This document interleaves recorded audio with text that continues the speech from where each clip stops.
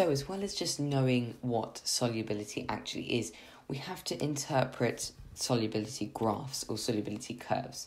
Now, before we actually look at solubility curves, as part of this topic, you need to know some basic elements. For example, knowing that lines of best fit don't always go through the origin.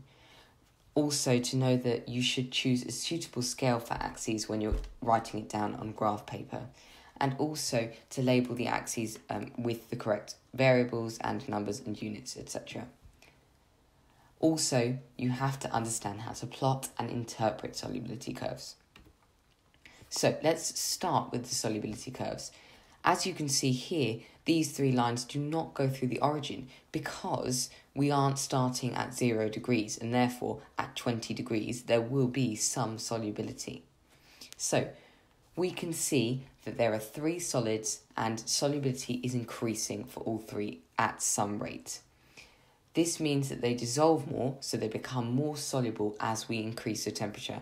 This we know this because if we look at the two axes, as the temperature goes along towards the right, the number on the y-axis is going up.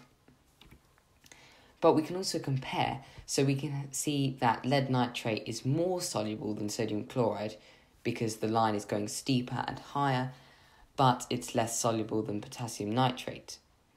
Now, you might also be asked to deduce some values. So, for example, it might say how soluble is lead nitrate at 50 degrees.